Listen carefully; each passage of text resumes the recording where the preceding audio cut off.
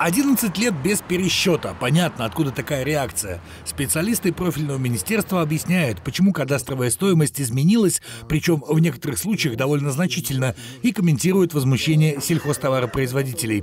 При этом решение принималось не колуарно, это общий процесс для всех регионов России, а методика подсчета разработана и одобрена Росреестром. В качестве маркера в Ульяновской области выбрали Николаевский и Барышский районы, земли которых сравнили с соседними регионами. У нас для понимания я в абсолютных цифрах а, кадастровая стоимость одного квадратного метра в Николаевском Барышском районе составляет чуть менее, в среднем, чуть менее 5 рублей. А цены за квадратный метр, кадастровая стоимость за квадратный метр в смежных субъектах, она а, выше, при этом в Мордовии, в Чувашии значительно выше.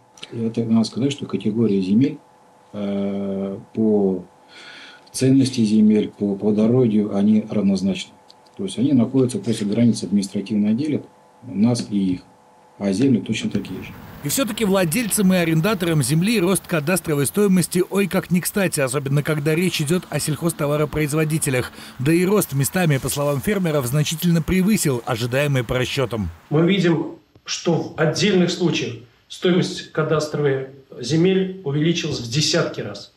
Отмечу, что данный факт повышения прямо отразится на увеличении земельного налога, определении стоимости аренды, выкупной стоимости земельных участков. Конечно, это в первую очередь сейчас коснулось сельхозтоваропроизводителей, а давайте прямо признаем, у которых и без того год выдался достаточно сложным.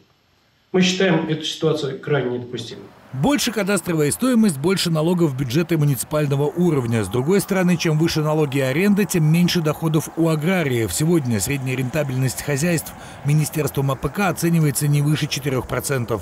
Само понятие налоговой ставки влияет в районе на э, объемы налоговых поступлений в бюджет и рост.